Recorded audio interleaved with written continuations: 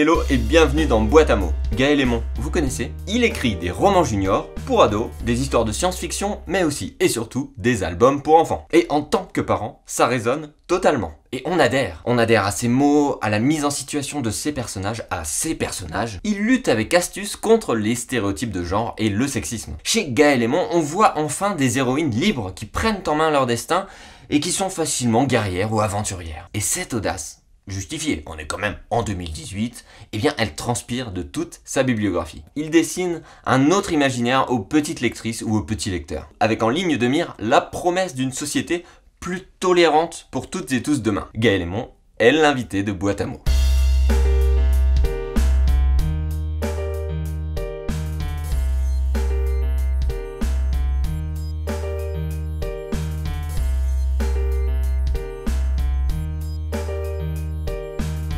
Bonjour à toutes et à tous et bienvenue sur Boîte à mots. Aujourd'hui nous sommes à la librairie du Parc, euh, à la Villette à Paris. Euh, et nous sommes en compagnie de Gaël Aymon. Bonjour Gaël. Bonjour. Bah, déjà pour commencer, on s'est retrouvé dans ce très beau lieu qu'est la librairie du Parc. Qu'est-ce qui te plaît dans ce lieu et puis euh, dans la librairie en général? Alors c'est une super librairie avec une super libraire jeunesse, donc déjà c'est bien.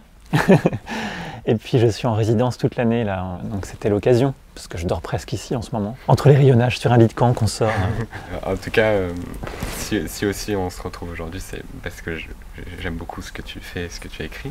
Merci. Et euh, ce que je trouve assez impressionnant dans, tout ce que tu fais, c'est que justement, euh, tu as une grande variété de, textes et de, façons d'aborder les histoires. en roman ado, déjà, tu passes du réaliste à la, à la fantasy et maintenant à la science-fiction. Puis tu as fait des romans pour les plus jeunes, puis des contes. Euh, est-ce que c'est important pour toi de te renouveler euh, à chaque fois? Je pense qu'on est quand même en, littérature jeunesse. Je ne suis pas tout seul, on est, on est quelques-uns à faire ça. Après, euh, je ne sais pas si je me renouvelle. En fait, je, je me désennuie. Je, je me change moi-même un peu de, décor, mais je ne pense pas que je me renouvelle. En fait, je pense que je me répète, comme tous les auteurs et tous les créateurs.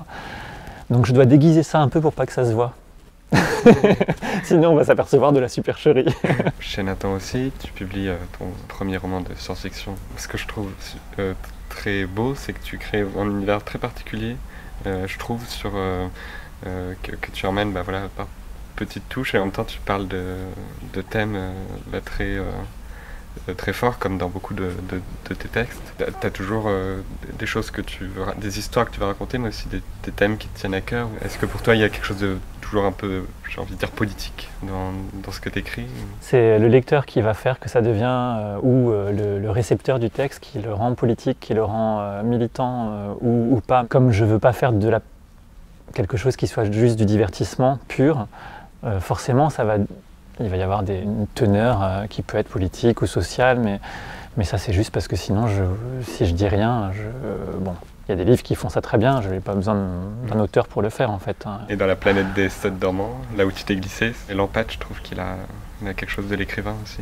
Oui. Euh, un peu mm. en marge, qui observe, qui, intervient quand, quand on a besoin de lui. Bah, c'est là que c'est intéressant puisque euh, c'est, comme je te dis, le lecteur qui va pour moi me, me, me dire ce que lui a perçu. Donc toi, c'est cet élément-là, effectivement, c'est un élément important. Pour moi, l'empathie est le super pouvoir des, des créateurs, en fait, hein, parce qu'il n'y a pas que les écrivains. Et si on le prend à la lettre, euh, c'est un super pouvoir. Ben, Qu'est-ce que ça devient quand c'en est vraiment un? Un personnage dont le super pouvoir serait l'empathie. Ben, ça m'intéressait de, de l'aborder. Après, il y, a beaucoup d'autres choses euh, qui m'intéressaient dans ce, dans, ce, texte aussi. Euh. Mais c'est vrai que c'était un élément très important. Et effectivement, on peut y voir une, allégorie de, de l'écrivain, sûrement. Rien qu'avec le titre, on sent qu'il y a aussi l'influence du, conte. C'est quoi qui t'intéresse particulièrement dans, dans, les contes, dans, cette matière que tu as beaucoup utilisée? Les contes, quand j'étais enfant, j'aimais les contes. Et euh, après, euh, à part voir un psy, euh, je ne me l'explique pas. Ça me touche, c'est comme ça. Donc je ne cherche pas à aller beaucoup plus loin que dans, la compréhension, moi, quand je suis touché par quelque chose. Donc, donc après, je me suis un peu spécialisé, c'est-à-dire que j'ai beaucoup, beaucoup lu, je me suis beaucoup documenté. Effectivement, la science-fiction, la fantasy, pour moi, on ont des liens très très ténus avec le conte. C'est la même chose. Hein. Et les films de, fantasy, les films où on va prendre Harry Potter, euh, ça emprunte à tout le répertoire des contes euh, mondiaux euh, habilement et en, les réintégrant dans, un univers personnel. Donc c'est quelque chose qui est très lié.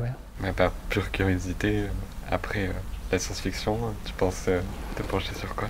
Normalement, je suis sur... j'ai du mal à définir parce qu'une fois que c'est écrit, on cherche l'étiquette qu'il faut mettre dessus, mais comme je, pars pas avec l'étiquette en tête, je vais continuer dans le conte et puis euh, je, je, voudrais euh, aller dans le fantastique et un peu, peut-être un peu thriller, mais je suis pas sûr qu'il y aura du thriller dedans, enfin un peu fantastique peut-être. J'ai du mal à en dire plus pour l'instant. Je comprends.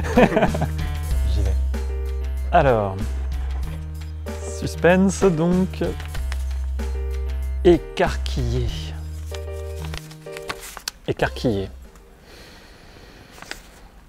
Alors, écarquillé, euh, ce qui me vient immédiatement, euh, c'est les enfants qui écarquillent les yeux euh, quand on leur montre les images de livres qui ne sont pas encore publiés ou les, les brouillons avec les corrections orthographiques et qui voient que je fais autant de fautes d'orthographe qu'eux et qu'il y a du rouge partout. Et ça, ça les surprend toujours, même les grands. Donc en fait, les ados aussi écarquillent les yeux quand on leur montre le travail qu'il y a derrière.